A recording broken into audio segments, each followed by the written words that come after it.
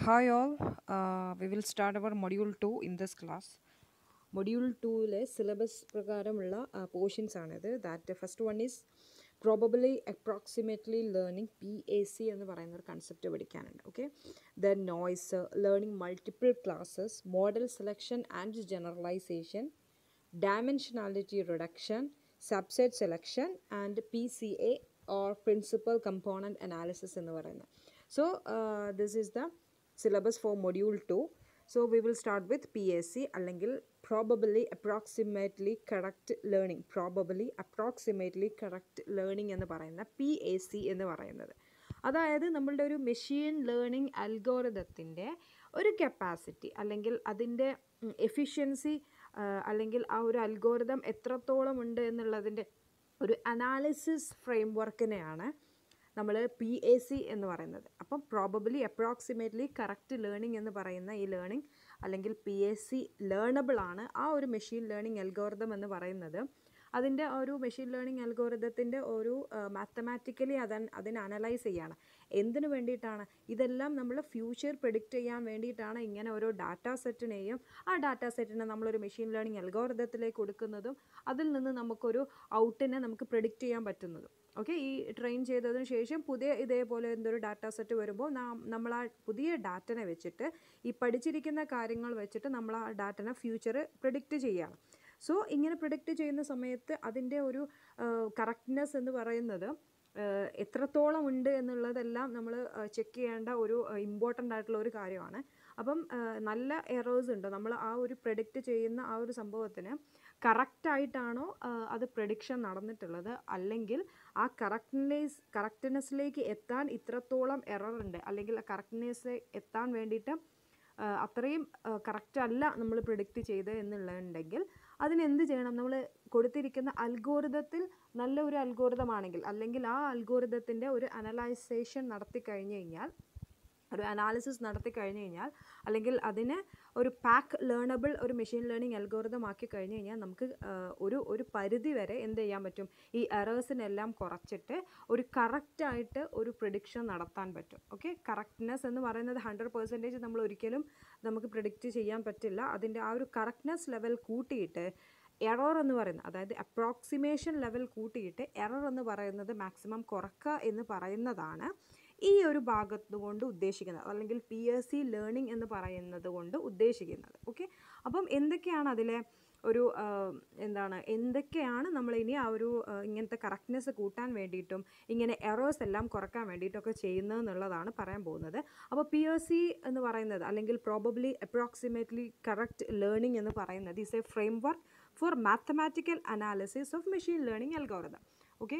അപ്പം ഈ ഒരു മെഷീൻ ലേണിംഗ് അൽഗോറിതം ആണ് നമ്മളുടെ ഈ ഒരു പഠിച്ചിരിക്കുന്ന ഡാറ്റാ സെറ്റിൽ കുറച്ച് ഡാറ്റകളുണ്ട് ഫോർ എക്സാമ്പിൾ എന്താണ് കുറച്ച് കുറേ കുറച്ച് വാല്യൂസ് ഉണ്ടെന്ന് വിചാരിച്ചോളൂ. വൺ സെവന്റി വൺ ഫിഫ്റ്റി എക്സിന്റെ വാല്യൂസ് ആണ് one seventy one fifty one thirty എന്നൊക്കെ പറഞ്ഞിട്ട്. അപ്പം എന്തോ ഒരു കാരണത്തിന്റെ ബേസിസിൽ നമ്മളിങ്ങനെ ഈ വൺ സെവന്റീനെ വൺ എന്ന് പറയുന്ന ക്ലാസ്സിലാണ് വൺ തേർട്ടീനെ സീറോ എന്ന് പറയുന്ന ക്ലാസ്സിലാണ് അപ്പം ഇതാണ് നമ്മളുടെ ഡാറ്റാ സെറ്റ് ഓക്കെ ഇത് വെച്ചിട്ടാണ് നമ്മൾ ഈ മെഷീൻ ലേണിംഗ് അൽഗോറിതത്തിലേക്ക് കൊടുത്തിട്ട് അതിനെ ട്രെയിൻ ചെയ്യിപ്പിക്കുന്നത്. മെഷീനെ ട്രെയിൻ ചെയ്യിപ്പിക്കുന്നത്. അതായത് ഈ വൺ സെവന്റി എന്നൊക്കെ പറയുന്നത് വൺ എന്ന് പറയുന്ന ക്ലാസ്സിലാണ് വരുന്നത്. വൺ തേർട്ടി എന്നൊക്കെ പറയുന്നത് സീറോ എന്ന് പറയുന്ന ക്ലാസ്സിലാണ് വരുന്നത് എന്നുള്ളതാണ് നമ്മളുടെ മെഷീൻ ലേണിംഗ് അൽഗോറിതം ഇങ്ങനെ ഈ ഈ ഒരു ഡാറ്റ സെറ്റ് വെച്ചിട്ടാണ് ഇങ്ങനെ പഠിച്ചുകൊണ്ടിരിക്കുന്നത് അല്ലെങ്കിൽ ലേൺ ചെയ്തുകൊണ്ടിരിക്കുന്നത്. ഓക്കെ അല്ലെങ്കിൽ ആ ഒരു മെഷീനെ ട്രെയിൻ ചെയ്യിപ്പിച്ചുകൊണ്ടിരിക്കുന്നത് ഈ ഡാറ്റ സെറ്റിന്റെ ബേസിസിലാണ്. അപ്പോൾ മെഷീൻ അത് പഠിക്കും. എന്നിട്ട് പുതിയ ഒരു ആൾ വരുമ്പോൾ നമ്മൾ അതായത് ഒരു അൽഗോരിതം വെച്ചിട്ടാണല്ലോ നമ്മൾ ഈ ട്രെയിൻ ചെയ്യിപ്പിക്കുന്നത്.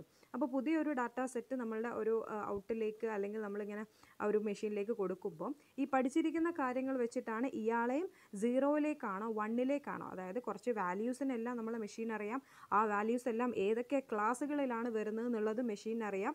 അപ്പം അതിന്റെ ബേസിസിൽ ആ പുതിയ ആളെ വണ്ണിലേക്കാണോ അല്ലെങ്കിൽ സീറോ ക്ലാസ്സിലേക്കാണോ അല്ലെങ്കിൽ വൺ ക്ലാസ്സിലേക്കാണോ പോകേണ്ടത് നമ്മൾ മെഷീൻ തീരുമാനിക്കും. ഓക്കെ അങ്ങനത്തെ ഇതെല്ലാം തീരുമാനിക്കുന്നത് എല്ലാം ഈ അൽഗോരിതമാണ് നമ്മൾ യൂസ് ചെയ്യുന്ന പ്രൊസീജിയർ ആ ഒരു അൽഗോരിതം എന്ന് പറയുന്നത് ട്രെയിനിങ്ങിനായാലും ടെസ്റ്റിങ്ങിനായാലും നമ്മൾ സെയിം ആയിട്ടുള്ള അൽഗോറിതമാണ് യൂസ് ചെയ്യുന്നത്.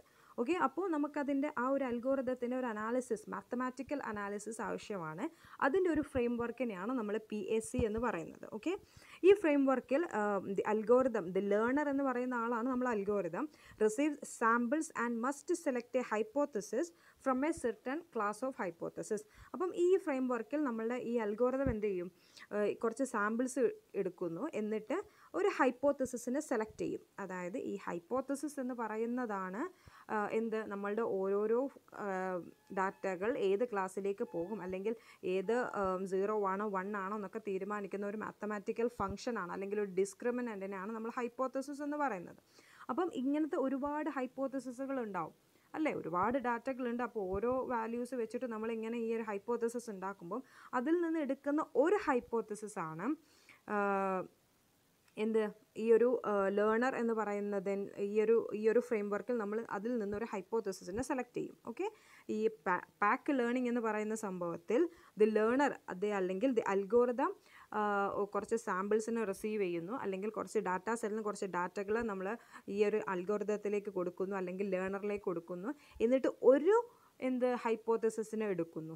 ഈ ഒരു ഹൈപ്പോത്തസിസ് എന്ന് പറയുന്നത് കുറച്ച് certain class of hypothesis capital letter space അല്ലെങ്കിൽ ഹൈപ്പോത്തസിസ് സ്പേസിൽ നിന്ന് ഒരു ഹൈപ്പോത്തസിസ് എടുക്കുന്നു. എന്നിട്ട് നമ്മളുടെ ഗോൾ അല്ലെങ്കിൽ എയിം എന്ന് പറയുന്നത് എന്താണ്?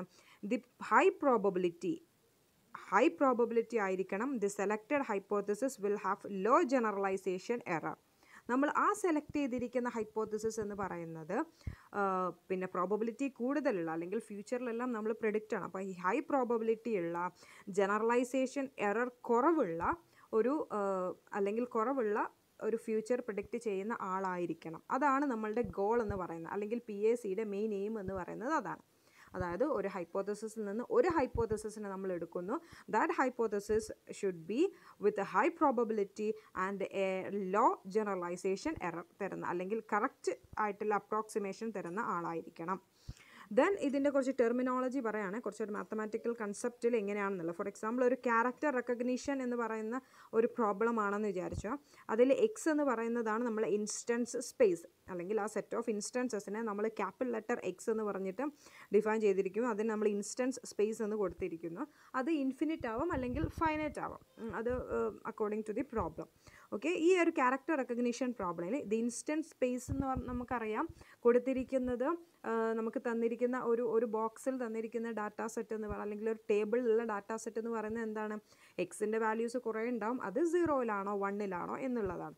അപ്പം അതിനെ നമ്മളൊരു മാത്തമാറ്റിക്കലി നമ്മൾ റെപ്രസെന്റ് ചെയ്തിരിക്കുന്നത് ഇങ്ങനെയാണ്. X equal to set of zero or one എന്ന് പറയുന്നത്. സീറോയിലാവാം വണ്ണിലാവാം അപ്പം എത്ര ഒക്കറൻസസ് ഉണ്ടോ അത്രയും സീറോ ക്ലാസ്സിൽ അല്ലെങ്കിൽ വൺ എന്ന് പറയുന്ന ക്ലാസ്സിൽ അപ്പോൾ അതിനെയാണ് നമ്മൾ മാത്തമാറ്റിക്കലി എഴുതിയിരിക്കുന്നതാണ് എക്സ് ഈക്വൽ ടു എന്ന് പറഞ്ഞ് കൊടുത്തിട്ടുള്ളത്.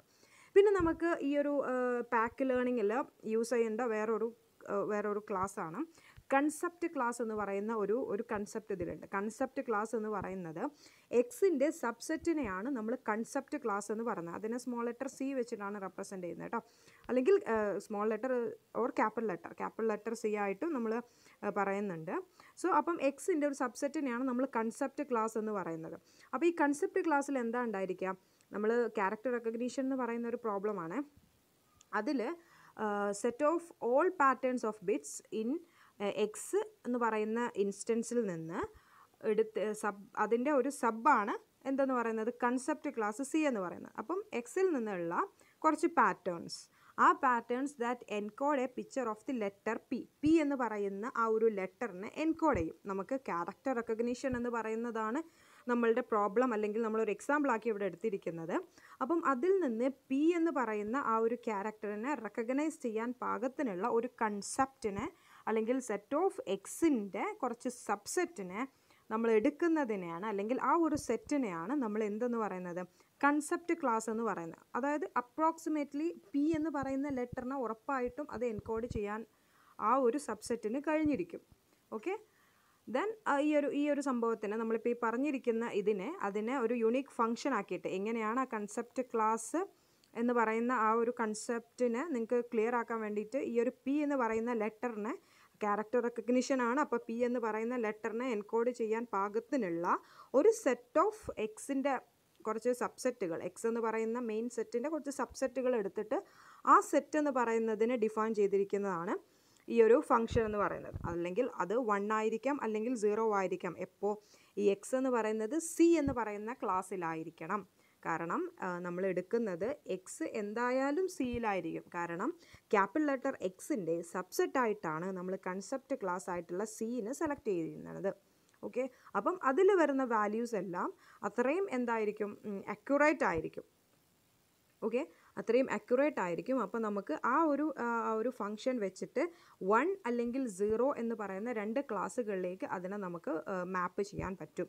If X belongs to C കാരണം എക്സ് എന്തായാലും സി എന്ന് പറയുന്ന കാരണം എക്സിന്റെ ക്യാപിറ്റൽ ലെറ്റർ എക്സിന്റെ സബ്സെറ്റാണ് C so if X belongs to C നമ്മൾ വൺ എന്ന് പറയുന്ന ക്ലാസ്സിൽ അതർവൈസ് സീറോ എന്ന് പറയുന്ന ക്ലാസ്സിൽ ഓക്കെ അപ്പോൾ നിങ്ങളിവിടെ മനസ്സിലാക്കേണ്ട കാര്യം എന്താണെന്ന് വെച്ച് കഴിഞ്ഞാൽ എക്സ് എന്ന് പറയുന്ന ഒരു ഇൻസ്റ്റൻസ് സ്പേസ് ഉണ്ട്. ദെൻ കൺസെപ്റ്റ് ക്ലാസ് എന്ന് പറയുന്നത് സി എന്ന് പറയുന്ന ഒരു കൺസെപ്റ്റ് ക്ലാസ് ഉണ്ട്. ദെൻ അത് ഒരു ഒരു ഫോർ എക്സാമ്പിൾ ക്യാരക്ടർ റെക്കഗ്നീഷൻ എന്ന് പറയുന്ന ഒരു പ്രോബ്ലം വെച്ചിട്ടാണ് പി എന്ന് പറയുന്ന ലെറ്ററിനെ എൻകോഡ് ചെയ്യുന്നത്. അപ്പോൾ നമ്മൾ എന്തായാലും അപ്രോക്സിമേറ്റ്ലി കറക്റ്റ് ആയിട്ടുള്ള ഒരു കുറച്ച് ഇൻസ്റ്റൻസസ് തന്നെയാണ് നമ്മൾ സെലക്ട് ചെയ്യുന്നത്. അപ്പം അതിനൊരു കറക്റ്റ് ഹൈപ്പോത്തസിസ് ആണ് നമ്മൾ ഒരു ഹൈപ്പോത്തസിസ് ആണ് നമ്മൾ എടുക്കുന്നത്. ഓക്കെ ദാറ്റ്സ് ഓൾ അബൌട്ട് അതിന്റെ ടെർമിനോളജീസ് ഇങ്ങനെയാണ് വരുന്നത്. അപ്പോൾ കൺസെപ്റ്റ് ക്ലാസ് എന്താണെന്ന് മനസ്സിലാക്കുക. ദെൻ ഇൻസ്റ്റൻസ് സ്പേസിന് അപ്പോൾ അതിനൊക്കെയാണ് എങ്ങനെ റെപ്രസെന്റ് ചെയ്യുന്നത് എന്നുള്ളതും മനസ്സിലാക്കുക. സോ ഇതിന്റെ ഒരു ലേണബിലിറ്റി എന്ന് പറയുന്നത് നമ്മൾ ഇനിയിപ്പോൾ ഒരു ഒരു കുറച്ചും കൂടി തിയറട്ടിക്കൽ പാർട്ടിലേക്ക് വരുമ്പോൾ എന്താണ്? ഒരു എഫ് എന്ന് പറയുന്ന ഒരു ഫംഗ്ഷൻ ഉണ്ട്. അതായത് probability distribution over X capital letter X എന്ന് പറയുന്ന ഇൻസ്റ്റൻസ് സ്പേസസിൽ നമ്മൾ കൊടുക്കുന്ന അപ്ലൈ ചെയ്യുന്ന ഒരു ഫംഗ്ഷനാണ് നമ്മൾ പ്രോബബിലിറ്റി ക്യാപിറ്റൽ ലെറ്റർ എഫ് എന്ന് പറയുന്നത്. That is probability distribution over X അതായത് ക്യാപിറ്റൽ ലെറ്റർ എക്സ് എന്ന് പറയുന്നതിൽ ഒരുപാട് എക്സ് വാല്യൂ എക്സിന്റെ ഒരുപാട് ഇൻസ്റ്റൻസസ് ആണ് അവിടെ ഉണ്ടാവുക. ഓക്കെ അപ്പോൾ ഈ ഇൻസ്റ്റൻസസ് ഒക്കെ എവിടെ എവിടെയൊക്കെ ഒക്കർ ചെയ്യും? അതിന്റെ ഡിസ്ട്രിബ്യൂഷൻ എന്ന് പറയുന്നത് എന്താണ്? എന്താണ് ഒരു പ്രോബിലിറ്റി ഡിസ്ട്രിബ്യൂഷൻ എന്ന് പറയുമ്പോൾ നമ്മളൊരു ഗ്രാഫ് ഇങ്ങനെ വിചാരിക്കുക. അപ്പോൾ നമ്മളിങ്ങനെ ഒരു നമ്മൾ കണ്ടിട്ടുണ്ടാവും ഒരു ചാർട്ട് പോലെയൊക്കെ ഇങ്ങനെ. That is what probability distribution is അതായത് ഓരോരോ പോയിൻസും എപ്പോഴൊപ്പം എവിടേക്ക് ഒക്കർ ചെയ്യുന്നു എന്നുള്ളത് നമ്മളൊരു ഒരു ഡിസ്ട്രിബ്യൂഷൻ പോലെ ആണ് നമ്മൾ കൊടുക്കുന്നത്. ഓക്കെ അപ്പോൾ നമ്മൾ ആ ഒരു particular function probability distribution function എക്സിൽ അപ്ലൈ ചെയ്യുമ്പോൾ നമുക്കൊരു ഒരു ഡിസ്ട്രിബ്യൂഷൻ കിട്ടും. അപ്പം അതിൽ നിന്ന് നമുക്ക് മനസ്സിലാവും ഈ വാല്യൂസ് എല്ലാം ഈ ഈ റേഞ്ചിലാണ് അല്ലെങ്കിൽ ഈ വാല്യൂസ് എല്ലാം ഇത്ര ഇത്ര റേഞ്ചിലാണ് അപ്പോൾ ഇത്രയും വാല്യൂസ് ഈ ഒരു ഹൈറ്റിലാണ് വരുന്നത് എന്നുള്ളതെല്ലാം നമുക്ക് മനസ്സിലാവും അതിന് ഓക്കെ ഫോർ എക്സാമ്പിൾ അതിനാണ് നമ്മൾ എഫ് എന്ന് പറയുന്നത് കേട്ടോ training examples are obtain by taking random samples from X എക്സിൽ നിന്ന് കുറച്ച് എക്സാമ്പിൾസ് എടുക്കുന്നു. അപ്പം അതിന്റെ ലേണബിലിറ്റി നമ്മൾ മനസ്സിലാക്കണം. നമ്മൾ അൽഗോറിതത്തിന് ഓൾറെഡി ഉള്ള അൽഗോറിതത്തിന്റെ ഒരു പാക്ക് ലേണബിലിറ്റി എന്ന് പറയുന്നതാണ് ചെയ്യുന്നത്. അപ്പം നമുക്ക് എന്തായാലും വേണ്ടത് അപ്രോക്സിമേറ്റ്ലി കറക്റ്റായിട്ടുള്ള ഒരു സംഭവത്തിനെയാണ്. അതിന് വേണ്ടിയിട്ടാണ് നമ്മൾ ഈ പാക്ക് ലേണബിലിറ്റി ചെയ്യുന്നത്. Okay then training examples are അപ്പം നമ്മൾ ചെയ്യുന്നത് എങ്ങനെയാണെന്ന് വെച്ച് കഴിഞ്ഞാൽ എക്സിൽ നിന്ന് കുറച്ച് റാൻഡം ആയിട്ട് കുറച്ച് വാല്യൂസ് അല്ലെങ്കിൽ കുറച്ച് എക്സാമ്പിൾസിന് എടുക്കുന്നു. എന്നിട്ട് അക്കോർഡിംഗ് ടു ദി വി നമ്മൾ അസ്യൂം ചെയ്യാണ് the samples are randomly generated from X according to the probability distribution F F എന്ന് പറയുന്ന പ്രോബബിലിറ്റി ഡിസ്ട്രിബ്യൂഷന്റെ അപ്ലൈ ചെയ്യുമ്പോൾ നമ്മൾ ജനറേറ്റ് ചെയ്യപ്പെട്ട കുറച്ച് സാമ്പിൾസ് ആണ് നമ്മൾ എടുത്തിരിക്കുന്നത് എന്നുള്ളത് നമ്മൾ അസ്യൂം ചെയ്യുകയാണ് എല്ലാം നമ്മളുടെ ഈ അസംഷൻസ് വഴിയാണ് നമ്മൾ ഈ നമ്മളെല്ലാം എന്താണ് അപ്രോക്സിമേറ്റ്ലി അത് കറക്റ്റാണ് എന്നുള്ളതാണ് നമുക്ക് തെളിയിക്കേണ്ടത്. അല്ലെങ്കിൽ അപ്രോക്സിമേറ്റ്ലി നമ്മൾ ഈ സെലക്ട് ചെയ്യപ്പെട്ടിട്ടുള്ള സാമ്പിൾസ് എന്ന് പറയുന്നത് എന്താണ്? കുറച്ചും കൂടിയും കറക്റ്റായിട്ടുള്ള അല്ലെങ്കിൽ നമ്മൾ ഓൾറെഡി അപ്ലൈ ചെയ്യാൻ പോകുന്ന പ്രോബബിലിറ്റി ഡിസ്ട്രിബ്യൂഷൻ എഫ് എന്ന് പറയുന്ന പ്രോബബിലിറ്റി ഡിസ്ട്രിബ്യൂഷന്റെ ബേസിസിൽ എടുത്തിട്ടുള്ളതാണ് ഈ കുറച്ചു സാമ്പിൾസ് എന്ന് നമ്മൾ മനസ്സിലാക്കണം അല്ലെങ്കിൽ നമ്മൾ അസ്യൂം ചെയ്യണം. ഓക്കെ അപ്പം എഫ് എക്സ് എന്ന് പറയുന്ന ക്യാപിറ്റൽ ലെറ്റർ എക്സ് എന്ന് പറയുന്ന ഇൻസ്റ്റൻസസിലേക്ക് നമ്മൾ ക്യാപിറ്റൽ ലെറ്റർ എഫ് എന്ന് പറയുന്ന ഒരു ഫംഗ്ഷൻ അല്ലെങ്കിൽ പ്രോബബിലിറ്റി ഡിസ്ട്രിബ്യൂഷൻ ഫംഗ്ഷൻ അപ്ലൈ ചെയ്യുമ്പോൾ നമുക്ക് കുറച്ച് എന്താണ് കുറച്ച് സാമ്പിൾസിനെ ജനറേറ്റ് ചെയ്യാൻ പറ്റും. ഓക്കെ?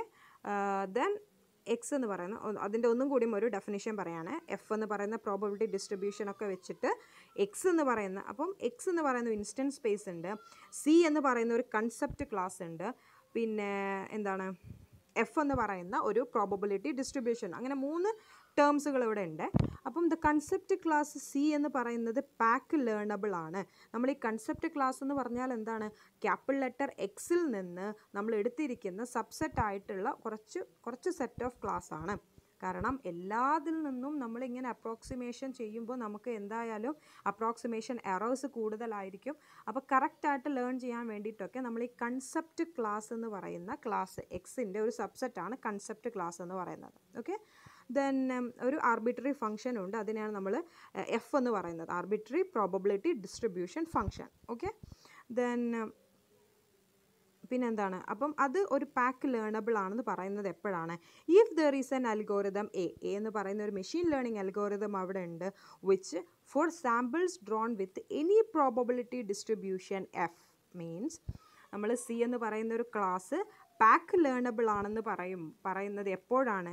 എ എന്ന് പറയുന്ന അൽഗോരിതം കുറച്ച് നമ്മൾ എടുത്തു. നേരത്തെ നമ്മൾ പ്രോബബിലിറ്റി ഡിസ്ട്രിബ്യൂഷൻ ഫംഗ്ഷൻ വഴി എടുത്തിട്ടുള്ള കുറച്ച് സാമ്പിൾസ് ഉണ്ട്. Okay A which for samples drawn with any probability distribution F and any concept C അപ്പം കൺസെപ്റ്റ് എന്ന് പറയുന്നത് എന്താണ്? ഒരു റീസൺ ഉണ്ട്. നമുക്കിങ്ങനെ ഈ എക്സ് എന്ന് പറയുന്ന സാമ്പിൾസിന്റെ ഓരോരോ എക്സുകൾ സീറോയിലേക്കാവാനും ഓരോരോ എക്സുകൾ വണ്ണിലേക്കാവാനും ഒരു റീസൺ ഉണ്ട് നമുക്കത് അവിടെ. ഇല്ലേ? അല്ലാതെ ഇപ്പോൾ വെറുതെ നമ്മളിങ്ങനെ അത് സീറോയിലേക്കാണ് അടുത്ത പോയിന്റ് വണ്ണിലേക്കാണ് എന്ന് പറയുന്ന ക്ലാസ്സുകളിലേക്കാക്കില്ലല്ലോ അതൊരു പെർട്ടിക്കുലർ റീസൺ ഉണ്ട്. അതിനെയാണ് നമ്മൾ കൺസെപ്റ്റ് എന്ന് പറയുന്നത്. അപ്പം അങ്ങനത്തെ കുറച്ച് കൺസെപ്റ്റുകൾ ആണ് കൺസെപ്റ്റ് ക്ലാസ്സിൽ ഉണ്ടായിരിക്കുക. Okay and any concept C സിയിലുള്ള ഒരു കൺസെപ്റ്റ് എടുക്കുന്നു. With will with high probability അതെന്തായിരിക്കണം? High probability ആയിരിക്കണം. എങ്ങനെ? എറോസ് ഈ സ്മോൾ ഹൈ പ്രോബബിലിറ്റി കൊടു ഉള്ള ഒരു ഹൈപ്പോത്തസിസ് നമ്മൾ സെലക്ട് ചെയ്യണം. അതായത് നമ്മൾ സെലക്ട് ചെയ്യേണ്ടത് എപ്പോഴും എന്തായിരിക്കണം? ഒരു ഹൈപ്പോത്തിസിനെയാണ് നമ്മൾ ഒരു പാക്ക് ലേണബിൾ ആയിട്ടുള്ള ഒരു മെഷീൻ അൽഗോറിതം സെലക്ട് ചെയ്യുന്നത്. ആ ഹൈപ്പോത്തിസിസ് എന്തായിരിക്കണം? എറർ എന്ന് പറയുന്നത് വളരെ കുറവ് പ്രഡിക്റ്റ് ചെയ്യുന്ന ആളായിരിക്കണം. അതിന് വേണ്ടിയിട്ട് നമ്മൾ യൂസ് ചെയ്യുന്ന കുറച്ച് ടേംസുകളാണ് കൺസെപ്റ്റ് ക്ലാസ് എന്ന് പറ അപ്പം അത്രയും എക്സ് എന്ന് പറയുന്ന ക്ലാസ്സിൽ നിന്ന് നമ്മൾ സി എന്ന് പറയുന്ന ഒരു കൺസെപ്റ്റ് ക്ലാസ് എടുത്തു. ആ കൺസെപ്റ്റ് ക്ലാസ് എന്ന് പറയുന്നത് എഫ് എന്ന് പറയുന്ന പ്രോബബിലിറ്റി ഡിസ്ട്രിബ്യൂഷൻ വഴി നമ്മൾ സെലക്ട് ചെയ്തിട്ടുള്ള ഒരു കൺസെപ്റ്റ് ക്ലാസ് ആണ്. ഓക്കെ അതിൽ എന്തായിരിക്കും ഉണ്ടാവാം ഹൈ പ്രോബബിലിറ്റി ആണ് പ്രൊഡ്യൂസ് ചെയ്യുക. ഹൈ പ്രോബബിലിറ്റിയും വിത്ത് ലെസ് എററും അപ്പം ഓരോരോ ടേം എക്സ് എന്താണ് സി എന്താണ് എഫ് എന്താണെന്ന് മനസ്സിലാക്കിയിട്ട് പഠിക്കുക അപ്പോൾ അങ്ങനെയാണ് നമ്മൾ ആ പാക്കിന്റെ ഡെഫിനിഷൻ എഴുതുക അപ്പം വെറുതെ നമ്മളിങ്ങനെ എഫ് സി എന്ത് മനസ്സിലാക്ക കാണാപ്പാടം പഠിക്കാതെ എന്താ ചെയ്യേണ്ടത് നിങ്ങൾ കൺസെപ്റ്റ് മനസ്സിലാക്കിയിട്ട് സി എന്താണ് എഫ് എന്താണെന്നൊക്കെയുള്ള രീതിയിൽ കൺസെപ്റ്റ് മനസ്സിലാക്കിയിട്ട് പഠിക്കാം. ഓക്കെ അപ്പോൾ നമുക്ക് ഒന്നുകൂടിയും ഇതിന്റെ ഒരു ഡെഫിനിഷൻ പറയുകയാണെന്നുണ്ടെങ്കിൽ ഒരു അൽഗോറിതം എ എന്ന് പറയുന്ന ഒരു അൽഗോറിതം ഉണ്ട് that given access to concept class C okay A എന്ന് പറയുന്ന ഒരു അൽഗോറിതം ഉണ്ട്. സി എന്ന് പറയുന്ന ഒരു കൺസെപ്റ്റ് ക്ലാസ് ഉണ്ട്. സ്മോൾ ലെറ്റർ സി അല്ലെങ്കിൽ ക്യാപിറ്റൽ ലെറ്റർ സി എന്ന് പറയുന്ന ഒരു കൺസെപ്റ്റ് ക്ലാസ് ഉണ്ട്. അതായത് ക്യാപിറ്റൽ ലെറ്റർ സി എന്ന് പറയുന്നത് സെറ്റ് ഓഫ് ക്ലാസ് ആണ്. കൺസെപ്റ്റ് ക്ലാസ് എന്ന് പറയുമ്പോൾ എ എന്ന് പറയുന്ന അൽഗോറിതത്തിന് ഒരു കൺസെപ്റ്റ് ക്ലാസ്സിലെ ഒരു സെറ്റിന് അല്ലെങ്കിൽ എക്സ് എന്ന് പറയുന്നത് സീറോ അല്ലെങ്കിൽ വൺ അതായത് നമ്മൾ എടുത്തിരിക്കുന്ന ഒരു സ്മോൾ ലെറ്റർ എക്സ് എന്ന് പറയുന്നത് സീറോ ആണോ വൺ ആണോ എന്ന് പറയുന്നതാണ് ഒരു കൺസെപ്റ്റ് ക്ലാസ് എന്ന് പറയുന്നത്. ഓക്കെ അപ്പം ഇങ്ങനത്തെ ഒരുപാട് കൺസെപ്റ്റ് ക്ലാസ്സുകളിൽ നിന്നുള്ള കൺസെപ്റ്റ് ക്ലാസ് പ്രോബബിലിറ്റി ഡിസ്ട്രിബ്യൂഷൻ എഫും ഇൻപുട്ട് എന്ന് പറയുന്നത് എപ്സിലോണും ടോയും ആണെങ്കിൽ അതിന്റെ probability of at least one minus tau എന്ന് പറയുന്ന പ്രോബബിലിറ്റി ആയിരിക്കും. ഓക്കെ ഇതിന്റെ ഒരു മാത്തമാറ്റിക്കൽ കൺസെപ്റ്റുകളാണ് കേട്ടോ പറയുന്നത്. A outputs A hypothesis H A എന്ന് പറയുന്ന മെഷീൻ ലേണിംഗ് അൽഗോരിതത്തിന് ഒരു ഹൈപ്പോത്തസിസ് ഉണ്ടായിരിക്കും. ആ hypothesis belongs to C capital letter C concept ക്ലാസ്സിൽ അതായത് ഇങ്ങനെ നമ്മളിപ്പം ഒരു എക്സിന് അത് സീറോ ആണ് വൺ ആണ് എന്നൊക്കെ പറയുന്നത് തന്നെ എന്താണ് ഒരു ഹൈപ്പോത്തിസിസ് ആണ്. അപ്പോൾ നമ്മളൊരു പാക്ക് ലേണബിളിറ്റിയിലേക്ക് വരുമ്പം അതിനെ നമ്മൾ കൺസെപ്റ്റ് ക്ലാസ് എന്ന് പറയുന്ന കുറച്ച് എക്സാ അതായത് എടുത്തിരിക്കുന്ന ഒരു ഒരു ക്ലാസ് അല്ലെങ്കിൽ ഒരു കൺസെപ്റ്റാണ് ഓക്കെ അത് ആ എടുത്തിരിക്കുന്ന ഹൈപ്പോത്തിസിസ് ആയിരിക്കണം. Error less than or equal to epsilon അല്ലെങ്കിൽ എറർ എന്ന് പറയുന്നത് വളരെ കുറവായിരിക്കണം. With examples drawn from X with distribution F okay നമ്മൾ എക്സ് എന്ന് പറയുന്ന എക്സാമ്പിൾസ് എന്ന് എക്സ് എന്ന് പറയുന്ന ഡാറ്റാ സെറ്റിൽ നിന്ന് എഫ് എന്ന് പറയുന്ന ഡിസ്ട്രിബ്യൂഷൻ വഴി സെലക്ട് ചെയ്യപ്പെട്ടിട്ടുള്ള സാമ്പിൾസിന്റെ ഹൈപ്പോത്തസിസ് ഹൈപ്പോത്തസിസ് തരുന്നത് എങ്ങനെയായിരിക്കണം? ലെസ് എറർ കൊടുക്കുന്ന. അപ്പം ആ എററിന് നമ്മളൊരു ഒരു എപ്സിലോൺ എന്ന് പറയുന്ന ഒരു മാത്തമാറ്റിക്കൽ ആയിട്ട് നമ്മൾ കൺസിഡർ ചെയ്യുകയാണെങ്കിൽ epsilon less than or equal to epsilon ആയിരിക്കും അതിന്റെ എറർ അപ്പം മനസ്സിലാക്കണം എത്രമാത്രം അതിന്റെ എറർ ആ ഒരു അപ്രോക്സിമേഷൻ അല്ലെങ്കിൽ പ്രഡിക്ഷൻ എറർ എന്ന് പറയുന്നത് അത്രയും കുറഞ്ഞു അല്ലേ? അപ്പം അതിന് വേണ്ടിയിട്ടാണ് നമ്മളിങ്ങനെ ഹൈപ്പോത്തസിസ് എന്ന് പറയുന്നതിനെ സെലക്ട് ചെയ്തിട്ടുള്ളത്. അപ്പം എന്താണ് പാക്ക് ലേണബിലിറ്റിന്റെ എയിം എന്നതിനനുസരിച്ചിട്ട് വേണം ഇങ്ങനെ നമ്മൾ ഡെഫിനിഷൻ എഴുതാൻ വേണ്ടിയിട്ട്. അപ്പം അങ്ങനത്തെ ഒരു അൽഗോറിതം ഉണ്ടെങ്കിൽ for എവ for every concept C belongs to C small letter C അല്ലെങ്കിൽ ഓരോ കൺസെപ്റ്റിന്റെയും ആ ഒരു സി എന്ന് പറയുന്നത് for every distribution F over X നമ്മൾ ഡെഫിനിഷനായിട്ട് എഴുതുകയാണ് കേട്ടോ. അപ്പം ഓരോ അൽഗോരിതത്തിനും ഒരു സി എന്ന് പറയുന്ന കൺസെപ്റ്റ് ഉണ്ട്. അതിന്റെ എക്സ് എന്ന് പറയുന്ന സെറ്റിൽ ഉള്ള ഡിസ്ട്രിബ്യൂഷൻ എഫ് ആണെന്നുണ്ടെങ്കിൽ ആൻഡ് ഫോർ ഓൾ എന്താണ്? Zero less than epsilon less than one by two and zero less than tau less than one by two then C എന്ന് പറയുന്ന കൺസെപ്റ്റ് ക്ലാസ് എന്താണ്? പാക്ക് ലേണബിൾ ആണ്. Okay it's a mathematical definition ആണ്. A എന്ന് പറയുന്ന അൽഗോറിതവും C എന്ന് പറയുന്ന concept ക്ലാസ്സും എഫ് എന്ന് പറയുന്ന ഡിസ്ട്രിബ്യൂഷനും ഓക്കെ അങ്ങനെയൊക്കെ ആണെന്നുണ്ടെങ്കിൽ അതിന്റെ ആ ഒരു വാല്യൂ എന്ന് പറയുന്നത് അപ്പം ഇത്രയും എല്ലാ വാല്യൂസും and for all zero less than epsilon less than one by two and zero less than tau less than one by two then C എന്ന് പറയുന്ന കൺസെപ്റ്റ് ക്ലാസ് പാക്ക് ലേണബിൾ ആണ്. സി എന്ന് പറയുന്നത് എക്സ് എന്ന് പറയുന്ന വലിയ സെറ്റിന്റെ ഒരു സബ്സെറ്റാണ് ഇതിലുണ്ടാവുന്ന അപ്പം അത്രയും അപ്രോക്സിമേഷൻ എറർ കുറച്ചിട്ട് ഈ എപ്സിലോണിന്റെയും ടോയിന്റെയും കാരണം നമുക്ക് മനസ്സിലാവും probability of at least one minus tau ആണ്. ഓക്കെ അപ്പോൾ വൺ മൈനസ് ടോ എന്ന് പറയുമ്പോൾ സീറോന്റെയും വൺ ബൈ ടുവിന്റെയും ആൻഡ് സീറോന്റെയും അടുത്ത ആ ഒരു എപ്സിലോന്റെയും ടോയിന്റെയും ആ റേഞ്ചാണ് പറയുന്നത്. ദെൻ ആ ഒരു കൺസെപ്റ്റ് ക്ലാസ്സിന് നമുക്ക് പാക്ക് ലേണബിൾ ആണെന്ന് പറയാം. Okay that's all about P S C